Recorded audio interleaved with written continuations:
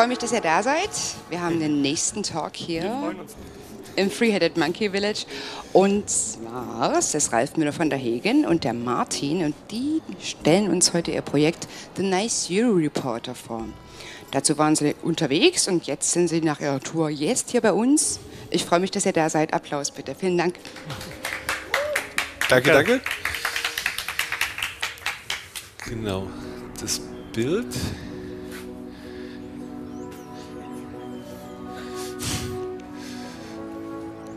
Genau.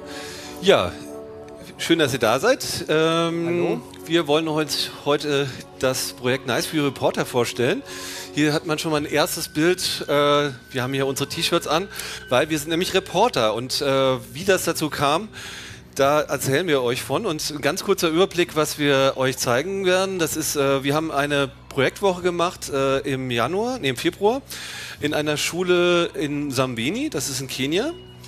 Wir äh, bei der Projektwoche haben 25 Kinder teilgenommen, drei Lehrer und sieben Musungus.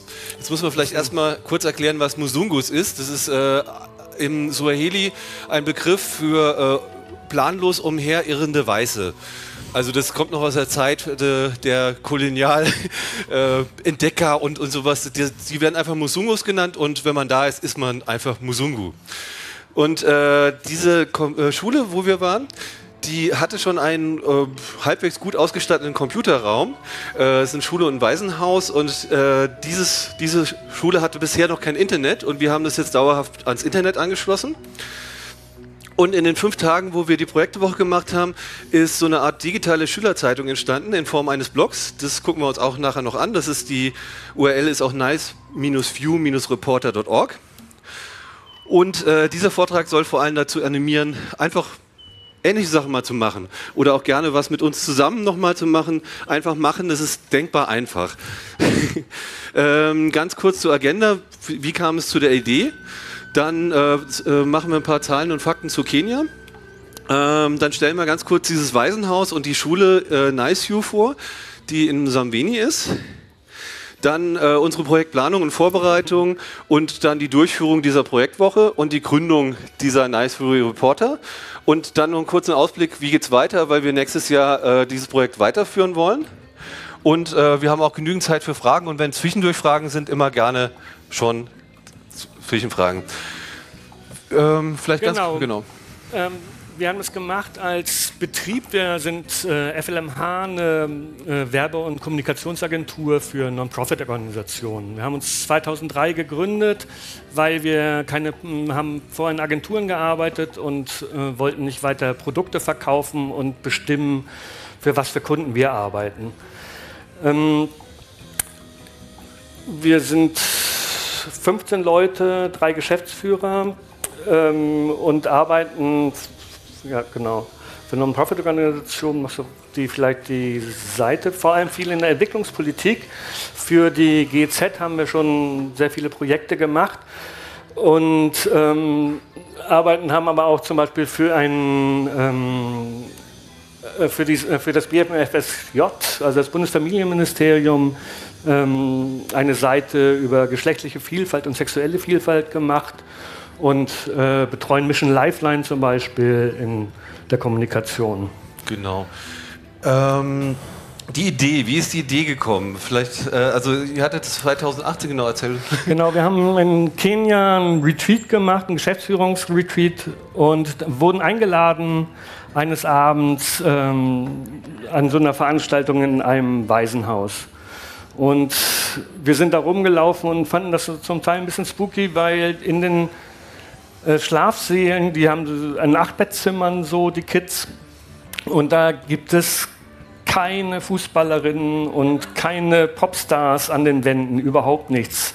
Das fanden wir schon ein bisschen komisch. Und dann ähm, wurden wir weiter rumgeführt und dann hatten sie einen Computerraum, mit, wo sie irgendwie spendenmäßig relativ gute Computer äh, gespendet bekommen hatten, aber die waren alle nicht ans Internet angeschlossen. Das gab es nicht. Die Welt draußen existierte nicht. Und ähm, dann haben wir uns gedacht, machen wir als Teambuilding Sache, fahren wir da alle zusammen hin und äh, versuchen, äh, also spenden das Internet und bauen das auf und machen auch so ein bisschen, versuchen so ein bisschen Medienschulung zu machen. Genau, dann kamen erste Bedenken, also wir sind wieder zurückgekommen aus Kenia, dachten irgendwie, wir laden euch jetzt hier alle ein, irgendwie, lasst uns nächstes Jahr zusammen nach Kenia fahren und dachten, das gibt große Begeisterung, aber. Ich war total begeistert, aber es kam halt sofort auch im Kollegium dann, ja, äh, das klingt ja ganz gut, aber was wollen wir eigentlich genau machen und was können wir eigentlich und was wird da eigentlich gebraucht und dann vor allem auch, äh, ist es nicht total überheblich, wenn wir als Musungus äh, da nach Kenia fahren und denen was beibringen wollen und äh, auch, ja, wir, wir haben noch gar nicht die pädagogische Ausbildung dafür, um das vernünftig durchzuführen. Und natürlich auch zu Recht, äh, was ist eigentlich mit unserem CO2-Fußabdruck? Können wir nicht einfach hier vielleicht ein Projekt in Brandenburg machen?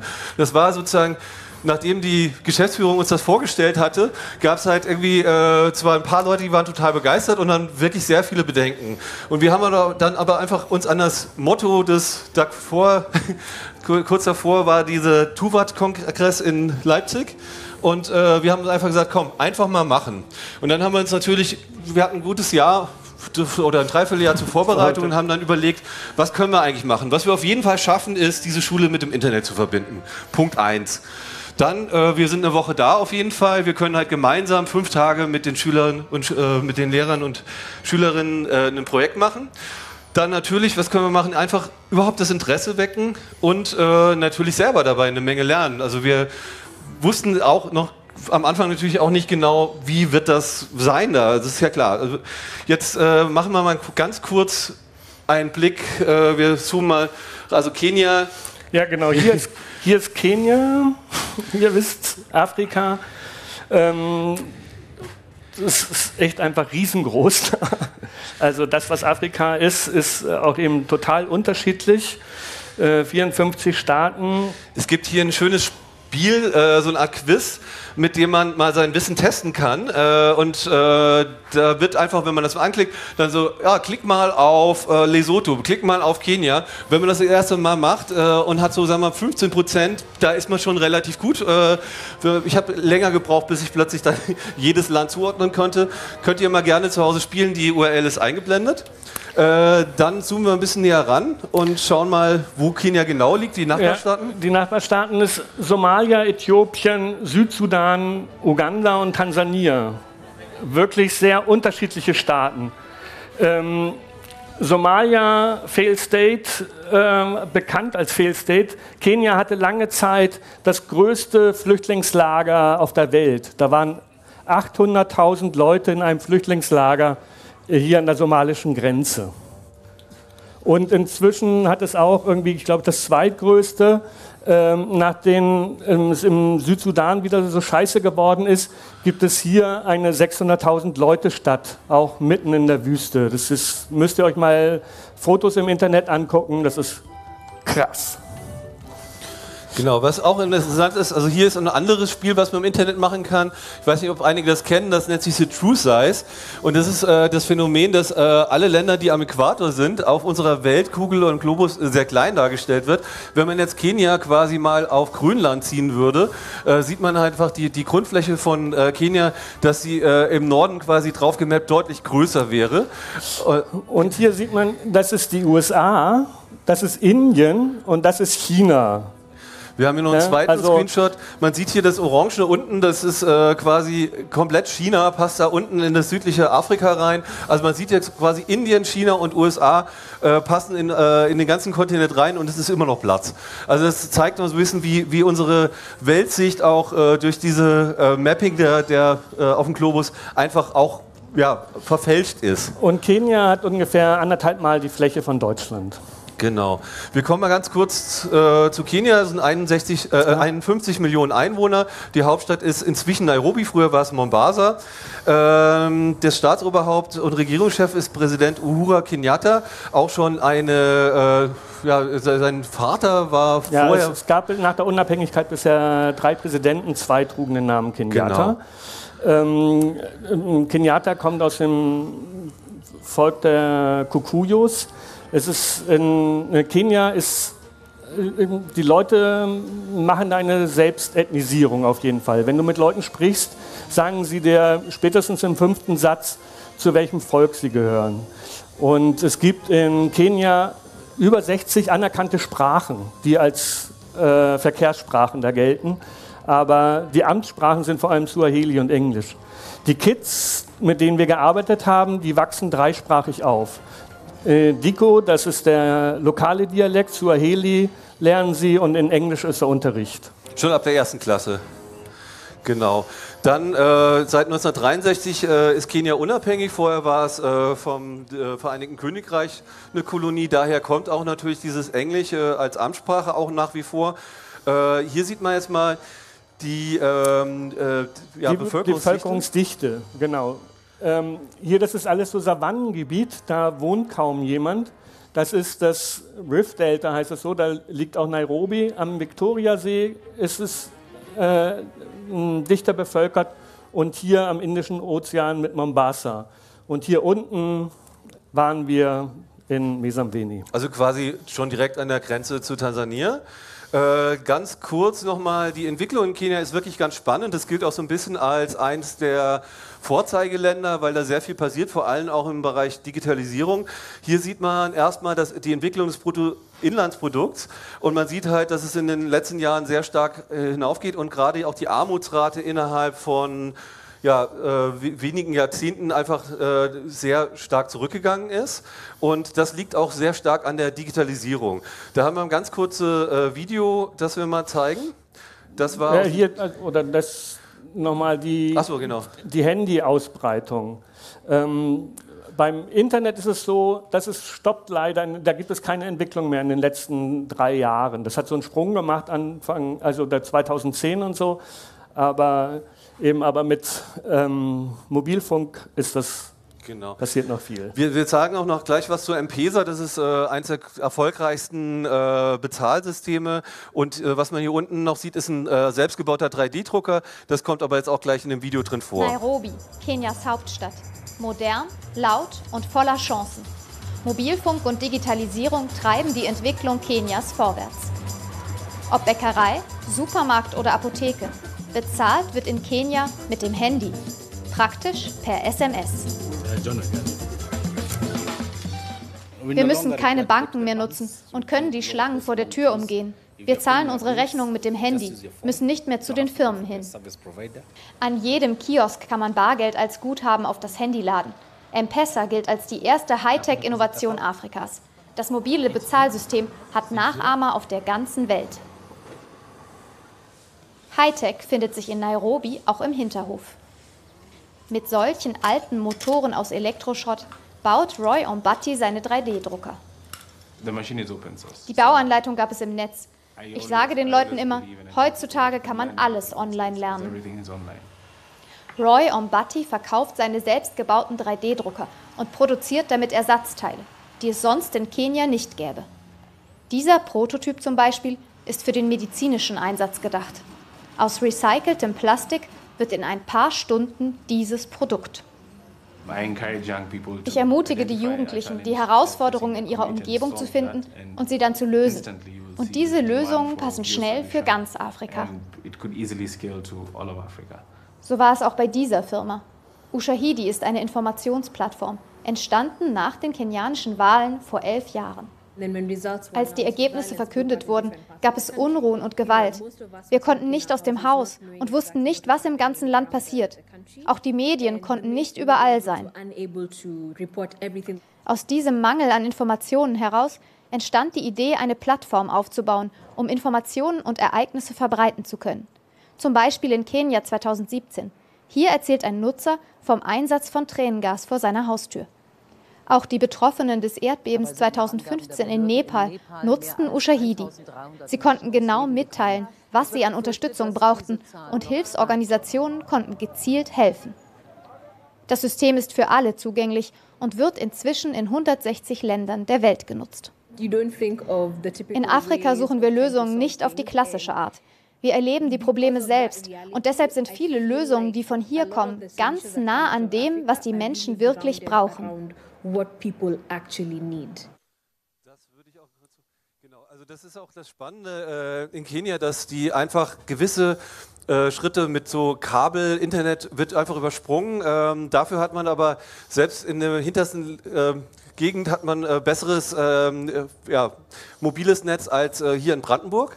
Das ist wirklich ganz toll. Und, und genau, nochmal zu M-Pesa. Das ist einfach entstanden dadurch, dass man früher ähm, bei Prepaid-Handys konnte man äh, ähm, Telefonguthaben an seine Freunde schicken. Also wenn die kein Guthaben mehr hatten, konnte man ein Telefonguthaben schicken.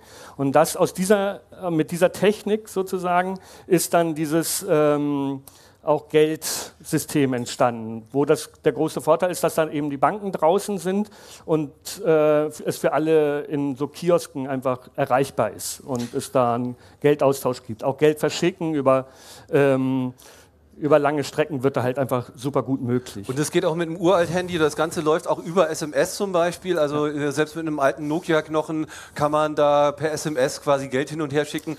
Und das äh, Spannende ist natürlich auch, dass diese ganze Bankensektor äh, dadurch äh, einfach überhüppelt wird. Das 16 ist, äh, Millionen Buchungen am Tag genau. werden da drüber gelaufen. Und man findet in Kenia auf dem Land auch, äh, man muss schon meistens irgendwie wirklich einige Kilometer in eine größere Stadt fahren, um überhaupt eine Bank zu finden. Und auf die Art und Weise sind natürlich auch Geschäfte Geschäfte, lokale äh, ja, Markt.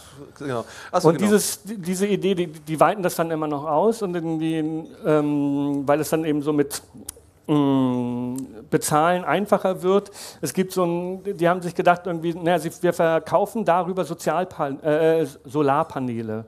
Ähm, und für einen Grundbetrag äh, kann man sich so ein Panel holen und hat dann eine Stromversorgung einfach im Haus und äh, zahlt die dann mit täglich kleinen Beträgen ab.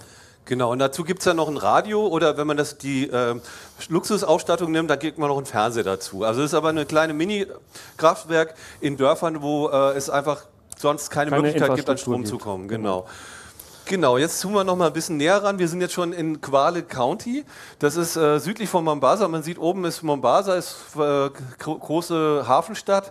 Ähm, und äh, wir sind südlich von Mombasa, äh, ist Msambeni, wo unser das ist so, dass Kenia eigentlich zu 85 Prozent christlich ist, aber der, also. der Küstenstreifen, ähm, der ist muslimisch, weil es da früher auch das Kalifat gab, auch mit Sansibar zusammen. Genau. Man sieht Diani Beach noch in der Mitte, das ist ein, äh, eigentlich so der Touristen-Hotspot in Kenia. Äh, das ist äh, auf halbem Weg da zwischen Mombasa und Msambeni.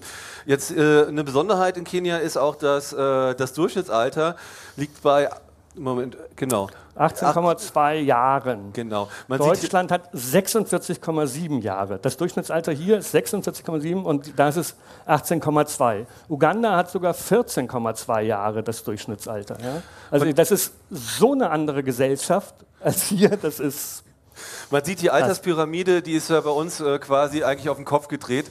Das ist äh, wirklich äh, super spannend. Also in dem kleinen Dorf, wo wir waren, hat ja, Dorf, es hat insgesamt mit um, also ungefähr 10.000 bis 20.000 Einwohner, da sind allein 30 Schulen. Also äh, da kommen wir zum Schulsystem, kommen wir gleich nochmal. Das ist nämlich eine Karte zum Schulsystem. In dem, in dem Bezirk. Quale ist ein relativ armer Bezirk. Ähm, man muss dazu sagen, es gibt ähm, seit einer Verfassungsreform vor ungefähr fünf Jahren, vorher gab es sechs Bezirke und jetzt gibt es 47 Bezirke. Und Quale ist eben eins der im Südosten. Und hier ist es allerdings äh, ist es relativ trocken und hier ist es eben die Küste. Aber man, und diese grünen Flächen, das sind alles die, die schon zur Secondary School gegangen sind. Also trotz überall, fast überall, außer diesem wirklich sehr armen Bezirk, gehen die meisten ähm, auf, auch auf eine Secondary School. Insgesamt ist es so, dass acht, äh, 86 Prozent äh, der Kinder in Kenia beschult werden. Ähm, was Schule ist halt auch eine, eine, eine, gewisse Sache. Also Schule kostet Schulgeld und es gibt zum Beispiel ein Projekt, vielleicht habt ihr schon mal von gehört, das ist von Facebook und äh, auch Microsoft gesponsert, nennt sich Bridge International Academy. Das ist quasi ein System, wo äh, ein Lehrer morgens auf sein iPad quasi den Lehrplan oder den Stoff für den Tag bekommt und das dann quasi vom iPad aus äh, den, äh, den Unterricht macht. Äh, das ist äh, der Vorteil quasi ist, dass es äh, sehr günstiges Schulgeld ist und dadurch halt auch Leute ihre Kinder zur Schule schicken können, die sich sonst nicht leisten können. Die Nachteile liegen aber auch auf der Hand, wenn jetzt ein Konzern wie Google oder Facebook den Unterrichtsstoff bestimmt äh, ist sicherlich, äh, ja. Genau, die, die, Unterrichte sind total standardisiert. Der große Vorteil ist vor allem der, dass ähm, die Lehrerinnen und Lehrer sind total scheiße bezahlt da. Wir haben nachher irgendwie, wir haben als erste mit den Kids gemacht, irgendwie so Fotos gemacht und sie gefragt, was wollen sie denn werden? Ähm, da hat niemand, aber auch wirklich niemand äh, Lehrer oder Lehrerin gesagt, weil das irgendwie so ein ganz unterer Job ist. Und natürlich bei so jungen äh, Durchschnittsalter wird natürlich genau das Bildung äh, besonders da gebraucht. Ähm, hier ist jetzt mal die Webseite von unserer Schule, die ist, glaube ich, was das angeht, äh, eher privilegiert. Das liegt daran, dass es halt, äh, wir kommen gleich auf die Geschichte dieser Schule, die ist halt äh, doch stark von deutschen St äh, Spendengeldern ähm, in, ja, gefördert. Ähm, wir zeigen mal ganz, ja. ja.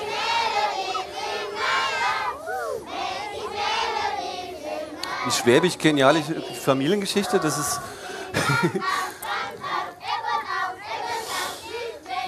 Ähm, von den Schulen vielleicht auch noch in Misambeli, von ich glaube es sind sogar 36 Mit Schulen, sind es irgendwie drei staatliche Schulen Heute oder kommunale Schulen und das, der Rest ist alles von irgendwelchen NGOs, ähm, e religiösen Gruppen, ähm, aus Saudi-Arabien gesponnerte Koranschulen.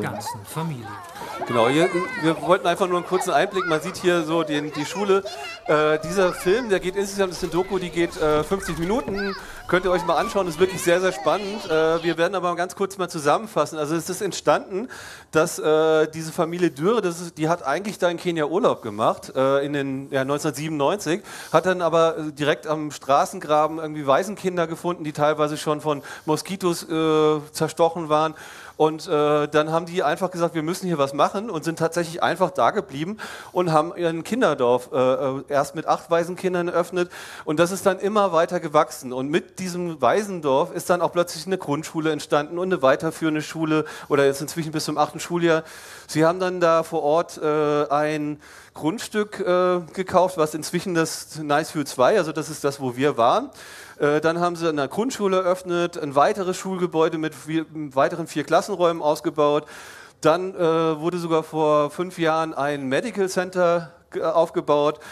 Zu dem ganzen äh, Komplex gehört aber auch eine Schreinerei, ein Schreibwarenladen, ein Bücherladen, äh, Sportstätten, Schneiderei. Also im Grunde genommen ist das ein Riesending plötzlich geworden.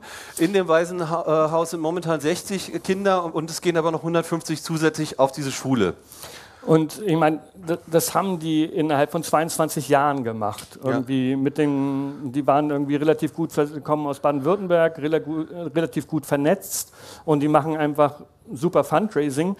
Und die Kinder aus diesem Waisenhaus und aus dieser Schule gelten in dem Ort als total äh, privilegiert, weil sie viermal am Tag was zu essen kriegen und eben gefördert werden. Das sind die Reichen da.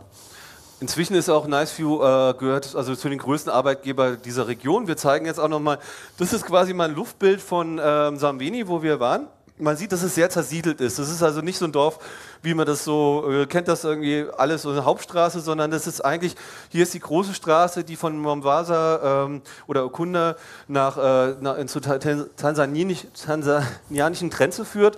Und das ist eigentlich ein, ein Dorf, das sehr, sehr äh, weit versprengt ist. Kannst du noch mal ja? kurz zurück?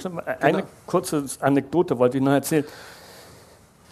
Ihr seht hier, die wohnen hier ist das Dorf und, hier am Strand, wo es wirklich wahnsinnig schön ist. Es ist ja. so abgefahren schön da. Aber hier wohnen nur Weiße, weil am, am Wasser zu wohnen nichts zählt. Da wohnen die armen, höchstens die armen Fischer, die, mit denen man nichts zu tun haben will. Ja. Äh, man sieht auch ganz außen ist schon Nice View ganz links äh, das Children's Village. Hier sieht man das nochmal in Großaufnahme. Inzwischen sind das sehr viele äh, Gebäude. Die wohnen, wie gesagt, da, haben jetzt mehrere Schulgebäude, einen größeren Sportplatz und bauen auch selber Gemüse an. Zeigen wir auch gleich nochmal ein paar Bilder. Ich glaube, bis zu 30 Prozent der Versorgung von Essen können sie selber tragen. Und das ist halt dieser Computerraum. Den haben wir auch so vorgefunden. Das ist inzwischen auch ja, man sieht hinten noch die Kartons. Also äh, die, diese Computer werden immer wieder von irgendwelchen Firmen äh, aus meistens Schwaben äh, da hingeschickt. Ähm, und wie gesagt, dieser Computerraum war da und die, die haben da auch regelmäßig Unterricht, aber es war bisher noch nicht ans Internet angeschlossen. Und es wird auch wahnsinnig wenig benutzt, weil die Lehrerinnen und Lehrer haben kein Wissen, wie sie das überhaupt, also Netzwerk aufbauen oder Netzwerk pflegen oder irgendwie so, das, da gibt es kein Wissen drüber. Es gab irgendwie, es hat anderthalb Jahre lang ähm, einer, der auch Informatik studiert hatte, da gearbeitet, aber seitdem der weggegangen ist, ähm, weil er eben vor einem super viel besser bezahlten Job gekriegt hat, ähm, gibt es da niemanden mehr, der das richtig betreuen kann. Genau. Ja, und jetzt mal eine kurze Frage. Äh, was denkt ihr, was es ungefähr kostet, so eine Schule für ein Jahr komplett mit Internet auszustatten? Also auch mit den, äh, mit den ganzen Gebühren und allem. Habt ihr vielleicht eine Idee, eine Zahl? Wie viel Euro kostet es, eine Schule auszustatten für ein komplettes Jahr? 1500. Ja, schon ziemlich nah dran. Es ist weniger als 400 Euro. Also es ist im Grunde was, wo, wenn wir es alle mal zusammenlegen, können wir noch eine weitere Schule einfach ans Netz machen. Das ist wirklich ganz easy. Das Equipment, was man dafür braucht, ist im Grunde auch minimal. Äh, das ist quasi, also die Hälfte von diesem Zeug hatte ich in meinem Gepäck. Äh, also wir haben, was weiß ich, 100 Meter LAN-Kabel, wir haben Switches, wir haben ein paar Laptops, wir haben auch viele Sachen eingesammelt. Also wir haben Leute gefragt, hey, bringt uns eure alten Smartphones äh, und haben das quasi alles in unserem Gepäck mit rübergebracht, was auch nicht ganz so einfach ist, weil Kenia, wenn man jetzt zum Beispiel mehrere Laptops einführt, wollen die pro Laptop 200 Euro Einfuhrzoll haben. Also ich musste wirklich dann sagen, ja, ich brauche das alles, weil ich Programmierer bin und dann muss ich das nicht bezahlen. Ähm, ich habe auch einen Aufruf gemacht in einem Forum, das vielleicht einige hier kennen, und haben dann irgendwie über die Art und Weise Smartphones bekommen. Und dann was haben wir uns vorbereitet? Wir haben Pläne geschmiedet. Und hier sieht man so ein bisschen unsere äh, Plan. Das ist, äh, wir haben uns natürlich überlegt, okay, äh, wir hatten ja keine Ahnung, wie, wie das dann da laufen wird, aber wir haben überlegt, okay, wir machen uns einen Plan, auch wenn wir damit rechnen müssen, dass wir vielleicht sehr vor Ort wieder sehr viel improvisieren müssen, aber wir haben so uns zumindest vorgenommen, gewisse äh, Schritte zu unterrichten, nämlich zum Beispiel, äh, wie geht man mit den Fotos um, was, wie macht man eine gute Bildauswahl, wie kann man Geschichten schreiben? Und wie können wir das innerhalb von fünf Tagen schaffen, so, eine, so einen Blog aufzubauen, wo alle auch mithelfen und das auch weiterführen können. Das war unser Plan und äh, wir haben also wirklich am Anfang gedacht, so okay, wenn wir nur die Hälfte davon umsetzen können, ist es super, aber es hat erstaunlich gut funktioniert, muss man sagen, weil es einfach äh, die unglaublich. Äh, genau, bei der Vorbereitung hatten wir uns ein bisschen Hilfe auch geholt äh, bei einer Organisation, die damals noch in Berlin, äh, in Berlin ihren Sitz hatte, Leapfrog. Ähm, die sind aber immer wieder nach Kenia gegangen und haben da äh, Jugendliche äh, das Programmieren beigebracht. Also in so Crashkursen, die äh, teilweise ein paar Wochen gehen, aber auch haben die in verschiedenen Schulen auch Programmieren beigebracht. Und Katrin und George von Leapfrog haben uns ein bisschen bei der Vorbereitung geholfen auch. Die sind jetzt vor zwei Wochen, glaube ich, nach Nairobi gezogen äh, und haben da jetzt ihr Büro da und machen von da aus das weiter. Und äh, wir hatten dann so quasi eine Idee, was wollen wir da machen, aber äh, dem Ganzen fehlte noch so eine thematische Klammer. Und dann kam die Idee, dass wir sagen, okay, lass uns einfach sagen, wir, wir sind Reporter, dann haben wir so eine, so eine Geschichte, die man äh, den Kindern erzählen kann. Und wir haben dann auch so Pressekarten gemacht und eben diese T-Shirts gedruckt, drucken lassen im Mombasa noch, äh, so dass man halt äh, so eine thematische Klammer für das Projekt hatte. Und dann sind wir auch, also das erste Team bestand aus Felix und mir. Wir sind äh, mit der Technik quasi runtergefahren, schon eine Woche vorher und haben äh, die Infrastruktur da vor Ort aufgebaut, was relativ einfach war. Hier sieht man auch, dass das ganze Zeug in meinem Koffer wohl äh, schon in Tegel schon kontrolliert wurde. Ich habe diesen Zettel erst in Mombasa gefunden, als ich mein äh, ganzes Zeug ausgepackt hatte, was auch ankam, aber was wohl auf dem Weg dahin mehrfach kontrolliert wurde, aber es kam an. Dann habe ich in Mombasa noch zwei ähm, Makerspaces oder auch so ein Coworking Space besucht, äh, die ähnlich wie jetzt die, die wir eben im Film gesehen hatten, äh, versuchen, äh, also es ist so, leider so in Mombasa passiert nicht so viel, also alles, was, äh, also dieses dieser Swahili Box ist zum Beispiel auch eine äh, Organisation, die Leute ausbildet, die innerhalb von sechs Wochen Leuten das Programmieren beibringt. Und der Ali, der mir das gezeigt hat, hat gemeint, aber in dem Moment, wo die es gelernt haben, gehen die alle nach Nairobi. Das ist so ein bisschen das Problem, dass dass es äh, Brain Drain nach Nairobi geht. Hier ist zum Beispiel ein äh, Coworking Space, der äh, schön gelegen mit äh, direkt äh, Anschluss an ein äh, Überlandkabel direkt, was direkt am Hafen da rauskommt. Die sind, äh, da kann man auch quasi äh, als äh, ja, ähm, Traveler auch vorbeigehen und da zum Beispiel auch arbeiten. Und äh, da werden auch Kurse gemacht, die machen auch so eine Art Konferenz einmal im Jahr, ähnlich vielleicht nicht ganz so groß wie die Republika, aber in die Richtung thematisch. Und dann gibt es halt Swahili-Box, die halt äh, teilweise auch äh, sehr viel basteln mit äh, Raspberry Pis. Das Problem ist zum Beispiel, ein Raspberry Pi kostet hier, keine Ahnung, 30 Euro. Und äh, wenn man es da versucht zu kaufen, das ist über 100 Euro. Also ist, die Technik ist da extrem teuer. Das ist halt ein großes Problem, deswegen muss man halt das irgendwie versuchen, ins Land reinzubringen. Ja, wie gesagt, wir haben in Mombasa noch in der Druckerei die T-Shirts gemacht und dann ging es auch weiter. Das war das Bild habe ich mal reingenommen, weil in ganz, äh, äh, gerade in Kenia und Mombasa ist natürlich der chinesische Einfluss sehr groß. Das sieht man sogar in den Autos. Das ist quasi auf der Fahrt. Äh, an der Küste lang wurde dieses äh, Bild in Navi, das ist eigentlich das chinesische Meer, aber das ist einfach, so war das im Auto und das hat sich auch gedreht und so weiter und man ist einfach quer das chinesische Meer gefahren. Und dann kam man da an und das ist quasi so der belebteste Ort äh, in, der ganzen, in dem ganzen Dorf. Das ist so ein Baum, wo die Bodder-Bodder-Fahrer sind, das sind diese Motorradfahrer. Du musst das Mikrofon Ah ja, okay.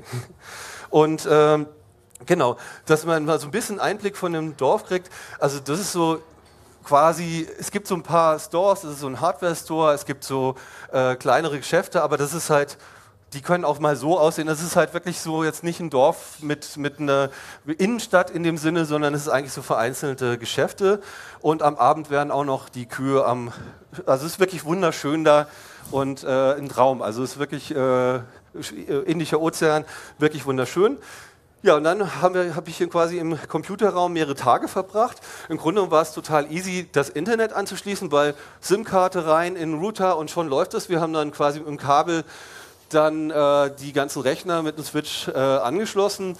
Was dann allerdings kam, das war, man sieht, es ist äh, sehr heiß da, es war durchgeschwitztes T-Shirt, das war dann quasi der erste Rechner am Internet und was wir dann gemacht haben, äh, machen mussten, diese Rechner waren natürlich niemals am Internet und deswegen haben wir, habe ich stundenlang äh, die quasi die Updates installiert, also eigentlich nur da gesessen und Knöpfe gedrückt und äh, währenddessen noch die, den Blog vorbereitet, den wir dann äh, in der Woche danach mit den Kids gefüllt haben.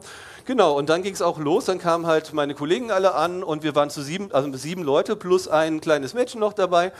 Äh, und wir haben mit sieben Leuten dann diese Projektwoche gemacht. Ähm, hatten erstmal eine kurze Führung gehabt, wo wir ein paar Bilder zeigen. Das ist quasi Nice View 2, das Girls House, so sieht das aus. Sie haben quasi so einen ja, Gemeinschaftsbereich, wo sie morgens frühstücken. Und äh, genau, es ist alles sehr, also Dschungelbuchmotive an der Wand, äh, teilweise, also das ist ein Klassenraum, äh, der, die sind auch zur Seite offen. Ähm, hier sieht man zum Beispiel auch hinten guten Appetit. Also das ist schon diese sehr deutsche, schwäbische, äh, kenianische Mischung. Und äh, hier sieht man die, das, den eigenen Gemüsegarten, der wie gesagt bis zu 30 Prozent deren äh, Ernährung sichert. Und äh, der Sportplatz wird halt auch von Ziegen und Gänsen benutzt. Das ist eines der spannendsten Fußballspiele, die ich jemals gesehen habe. Und äh, genau, wir haben quasi dann das Quartier eingezogen, haben abends noch der, am Abend davor noch alles zusammengesessen. Wir haben uns auch noch selber äh, quasi abends Vorträge uns gehalten, um einfach da auch anzukommen. Und äh, das war unser erster Schultag. genau, wir sind, ja. Wir waren Hölle aufgeregt, wussten nicht, ähm, was uns da so wirklich erwartet. Ähm, was aber klasse war, ist, dass ähm, die Kids total viel Lust hatten. Das ist wirklich so, die wollten alles mitnehmen und fanden ähm, hier haben wir dann irgendwie erstmal so die Initiationsritus mit den T-Shirts und den Presseausweisen gemacht und die so ein bisschen eingestimmt. Ähm, und dann, genau, wir hatten ja, ein paar, äh, wir hatten so ein paar Sachen, um erstmal zu erklären, was machen wir eigentlich hier und was sind eigentlich, was, wir haben so die Grundregeln der Reporter. Was, what do reporters do? Okay, they take pictures, they do interviews, they write stories about what they observed. Und jetzt das Wichtige ist, how do reporters work? They tell always the truth. they work as a team. They respect people.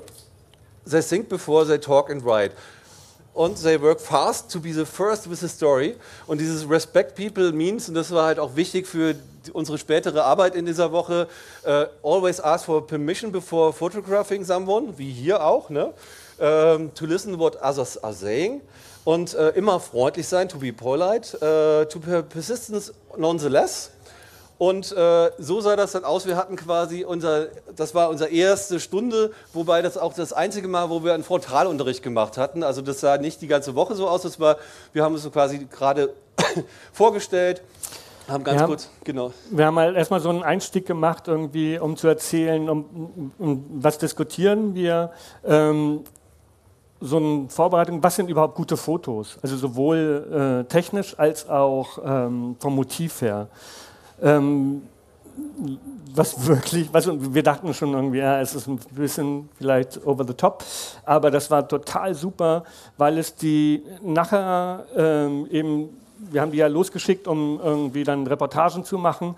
Und die Diskussion darum in den Gruppen, nehmen wir jetzt das Foto oder nehmen wir das Foto, das war so toll, mhm. die, die, die haben das so klasse gelernt und, irgendwie, und hatten dadurch dann auch was zum Diskutieren. Und total uneitel vor allem auch. Ja. Genau, dann haben wir auch mit zusammen mit denen erstmal äh, überlegt, welche Themen wollen wir bearbeiten. Da kam halt am Ende so ein Cluster raus, wo äh, wir ein paar Überthemen hatten. Zum Beispiel war tatsächlich auch von denen ähm, kam, also Natur war ein wichtiger äh, Bereich, der ganze Bereich. Äh, was arbeiten die Leute hier eigentlich? Work and Profession, dann Tourism, Market und, and Business. Genau, wie funktioniert Business? Das genau. hat sie wahnsinnig interessiert. Healthcare muss man vielleicht auch dazu sagen, dass im Samveni ist eins der größten Krankenhäuser der ganzen Region. Das ist also auch der Hauptgrund, warum sehr viele Leute da immer in diesen doch kleinen Ort kommen. Und genau, wir hatten dann angefangen, wir hatten halt wie gesagt sehr viele äh, mitgebrachte iPhones oder Smartphones, Tablets, die wir äh, gespendet bekommen haben. Und äh, dann ging es halt los, damit zu experimentieren, damit Fotos zu machen und dann die ersten Reportagen zu machen.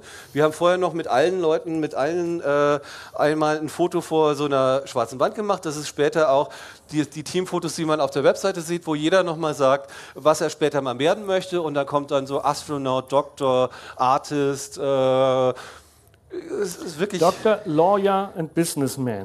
Genau. Das, das war, sind die raus aus der Armut so ein bisschen. Könnt ihr euch nachher auf der Webseite auch anschauen. Dann wurden halt äh, Interviews geführt. Äh, wir sind halt, hier zum Beispiel sehr beliebt war dann den Lehrer natürlich zu interviewen und dem mal fiese Fragen zu stellen. Sieht man hier sehr äh, mit mehreren äh, Mikrofonen gleich drauf. Und dann, wie gesagt, wurde Fotoauswahl gemacht, äh, die Geschichten wurden zusammengetragen. Das ist dann auch äh, jetzt auf dem Blog nachzulesen. Das ist zum Beispiel eine der ersten Geschichten, ist halt einfach ein Interview mit ihrem Lehrer. Dann äh, sind wir zum Beispiel in dem Schulgelände rumgegangen, haben da uns halt die Küche angeschaut, haben mit den äh, Leuten, die da arbeiten, äh, gesprochen. Viele von denen, äh, die da inzwischen arbeiten, sind auch äh, früher mal in diesem Haus, also im Waisenhaus aufgewachsen. Äh, wir haben dann uns zum Beispiel angeschaut, diese Hühner, äh, die da sind. Und da ist zum Beispiel auch dann die, eine der ersten Geschichten rausgekommen. Äh, Kuku Nawali heißt einfach Chicken with Rice und wie man das kocht und was man dazu braucht und so weiter. Das haben die quasi dann in dem Blog zusammengetragen. Ähm, und dann sind wir auch mal rausgegangen aus diesem Schulgelände und äh, das war dann so der wirklich spannende Moment. Das war am zweiten Tag, wo wir wirklich mal in diesen Ort reingegangen sind. Äh, natürlich auch war das eine Attraktion auf eine Art und haben dann äh, da zum Beispiel die Matatu-Fahrer interviewt. Matatus sind diese äh, Kleinbusse, das ist das äh, einzige oder die, eigentlich das öffentliche Verkehrsmittel. Ähm, das ist quasi... Neben äh, den Tuk-Tuks und den Boda Bodas. Neben, den Tuk-Tuks und Boda Boda sind quasi diese Motorräder. Und wir haben dann mit den Interviews geführt und auch dazu äh, dann eine Geschichte entwickelt, Transportation in, in Msambweni. Und äh, dann auch ein großes Thema äh, ist da Plastikmüll. Kenia ist allerdings auch eins der ersten Länder, die zum Beispiel Plastiktüten verboten haben. Klingt jetzt erstmal ganz schön, aber wenn man im Supermarkt ist, ist dort trotzdem dann ganz viel immer noch eingeschweißt in irgendwelche Dreiverpackungen. Das große Krankenhaus, was da ist, was wirklich eine überregionale Bedeutung hat, das hat bis vor anderthalb Jahren äh, die ganzen Abfälle, auch die Verbände und Spritzen einfach hinten ins Meer gekippt. Und es ist dann an den Strand wieder angeschwemmt worden. Inzwischen haben sie jetzt nach, seit, nach, vor, äh, seit anderthalb Jahren eine Müllverbrennungsanlage da. Genau. Was es wirklich sehr viel verbessert hat. Es gibt da auch so eine Gruppe, die einmal in der Woche sogar äh, Müll am Strand sammelt. Und da sind wir auch einmal mitgegangen und haben denen dann quasi dabei geholfen. Und äh, hier ist nämlich auch ein schönes Beispiel, was man aus alten Flaschen machen kann. Hier dieses Haus, äh, diese kleinen Dinge, das sind quasi alles äh, leere Plastikflaschen. Man sieht das vielleicht hier nochmal, äh, sieht man noch die Fanta- und Cola-Deckel. Und äh, genau, das ist quasi, das Haus ist quasi auf, aus Plastikflaschen und Putz einfach gemacht. Genau, und das ist auch eine Story, die ihr in dem Blog nachlesen könnt. Äh, und es war halt ein sehr, sehr äh, reges Treiben natürlich in diesem Computerraum. Man hat das irgendwie, äh, glaube ich, auch gerade auf diesem Bild äh, sieht man es sehr schön. Die sind halt wirklich am, teilweise am Schreiben, teilweise am Bildauswahl machen und äh, das Ganze in so einem Raum mit vielleicht ja, 25 oder bis zu 30 Leuten bei 40 Grad. Das, das war äh, das eines der peinlichsten Sachen. Man will den Leuten, den, den Kids was erzählen. T-Shirt klatschnass, Hose wirklich klatschnass und ich zeige dann irgendwie auf den Bildschirm und mir tropft der Schweiß irgendwann aus meinem Handgelenk runter. Das war mir so peinlich. Und es war halt auch so laut, dass wir das irgendwie dann ein bisschen äh, aufteilen mussten, dass wir immer nur mit, wir haben eigentlich drei Gruppen gemacht und dass wir dann immer nur mit einer Gruppe äh, in den Computerraum sind. Es ist eigentlich so gut wie alles gut, äh, gut gelaufen. Ab und zu kam mal eine Stichflamme aus der Wand raus, aber insgesamt äh, hat es eigentlich alles super funktioniert. Äh, hier ist, äh, wir sind dann zum Beispiel auch in einen anderen Raum mal rübergezogen, damit wir in Ruhe arbeiten könnten. Und hier haben wir mal versucht, äh, Kontakt aufzunehmen zu der größten äh, Zeitung in Nairobi und haben da versucht, mit, denen, mit einem Chatbot zu sprechen. Der war aber leider sehr dumm. Wir haben noch ein Foto geschickt. Guck mal hier, wir sind auch Reporter. Wir wollen mal mit einem richtigen Reporter sprechen.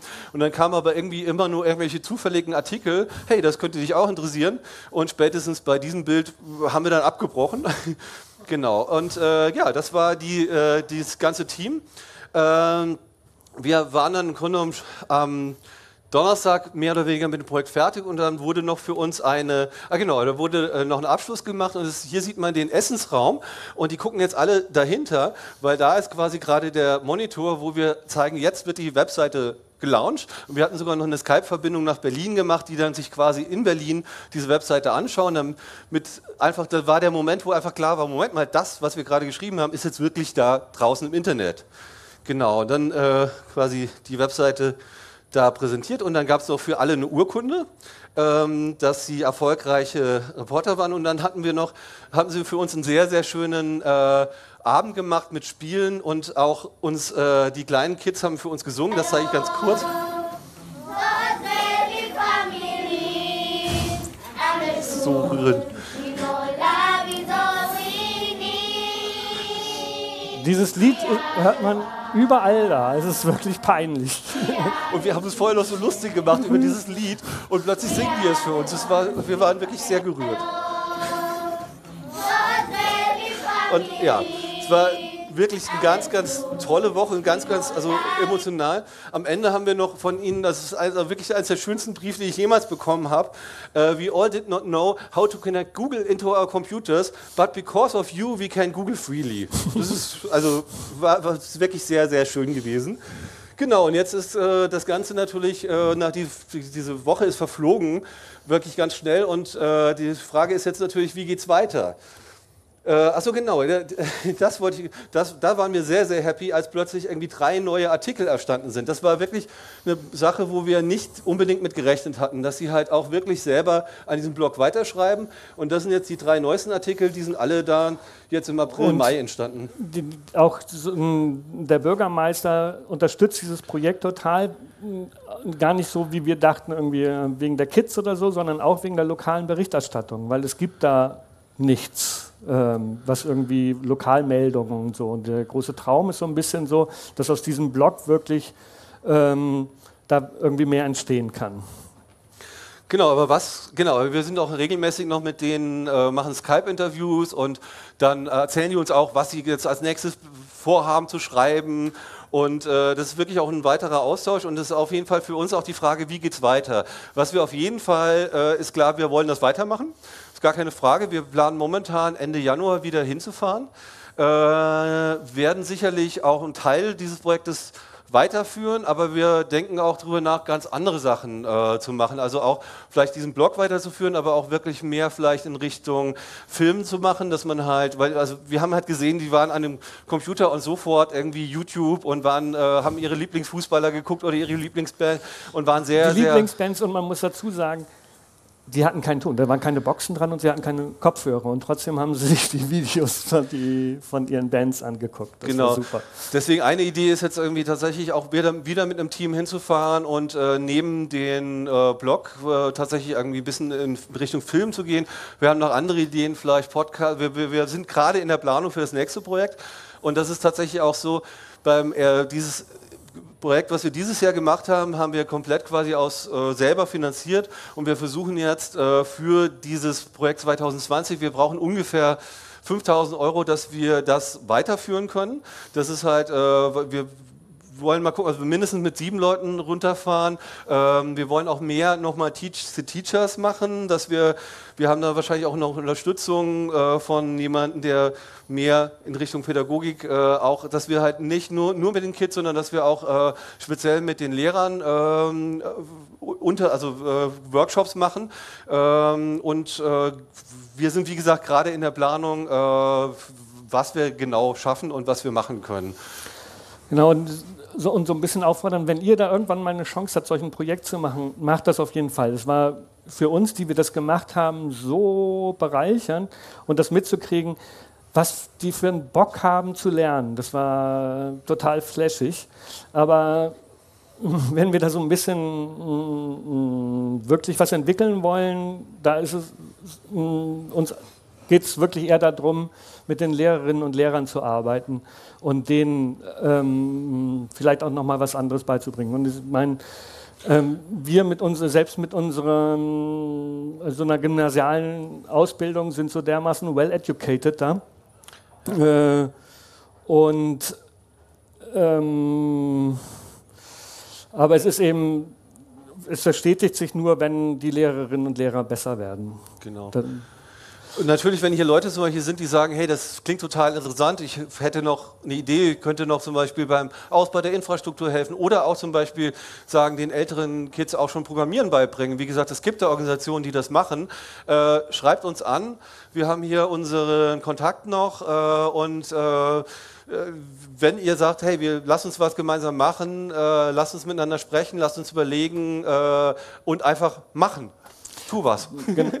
Die, die Idee auch von der Schule ist, was sie total gut finden würde, dass wenn dieser, dieser Computerraum äh, gar nicht nur für die Schule ist, sondern wenn es da irgendwie sowas wie ein Hub entsteht, in, in dem sich Leute treffen können und daran auch, also das zu öffnen und der genau. Bevölkerung. Wir sind auch, wie gesagt, mit äh, einigen Organisationen auch in Kontakt, die sich auch eventuell vorstellen könnten, halt vor Ort da auch was zu machen und auch äh, zum Beispiel, also wir hatten zum Beispiel mit, äh, vor allem mit 12- bis 14-jährigen äh, Kindern zu tun. Und äh, letztendlich ist auch so, mit 14, 15 ist da die Schule vorbei. Wenn Sie dann zu einer weiterführenden Schule gehen wollen, müssen Sie quasi dann schon 30 Kilometer in das Nachbarort, äh, wo auch zum Beispiel das Waisenhaus sogar eine Art WG hat und da auch dann das ermöglicht. Aber es gibt auf jeden Fall so 15-Jährige, die quasi dann am Ende ihrer Schulzeit stehen und für die wäre das natürlich Hammer, wenn die einfach ja, programmieren lernen oder sowas da machen können. Jetzt haben wir noch eine gute fast Viertelstunde äh, Zeit für Fragen. Wenn ihr Fragen habt äh, oder auch einfach sagt, hey, wir haben eine Idee, äh, gerne. Mikrofon gibt's. Ich sehe hier kaum noch was, so geblendet. Hey, äh, super cooles Projekt erstmal. Äh, Martin, wir kennen uns auch persönlich, ich habe das auch schon mal gesagt. Ähm, habt ihr so ein Auswertungstool entwickelt, äh, beziehungsweise eingebracht in den Blog, dass man weiß, wie viele Benutzer auf, der, auf dem Blog waren, sodass die Leute auch da se äh, das sehen und so?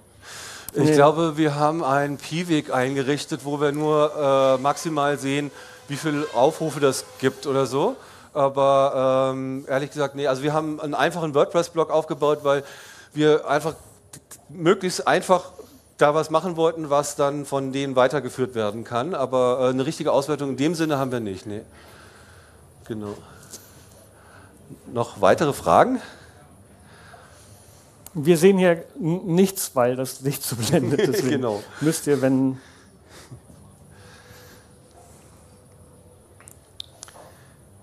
Da ist noch eine Frage.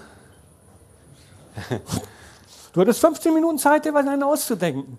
Sonst, wenn ihr Fragen habt, wir sind ja auch hier noch eine Weile da und ja. äh, ihr könnt uns, also wie gesagt, wir sind total happy, wenn Leute sagen, ey, ich habe eine Idee und will da irgendwie helfen, das ist total super. Und wir sind natürlich auch happy, wenn irgendjemand einen kleinen Betrag äh, spendet an das Projekt, dass wir das auch weiterführen können. Gut, ja, dann vielen Dank. Ja.